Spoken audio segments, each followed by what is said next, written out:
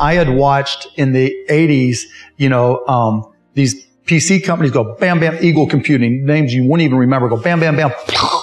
Then I watched software company, Word Perfect, you know, Ashton Tate, you know, WordStar, all these companies. Bam. I mean, it didn't take a genius to say, wow, this might happen again. And so the first thing I did the minute we sold, I wasn't allowed to put on a collar for six months because of, of, the laws. And so what I was allowed to do was find an index, an internet index that didn't have Yahoo as more than 5%.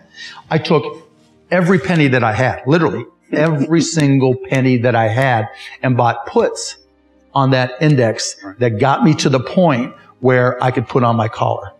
I lost 90% of that, of those puts but I was able to put on my collar on the other side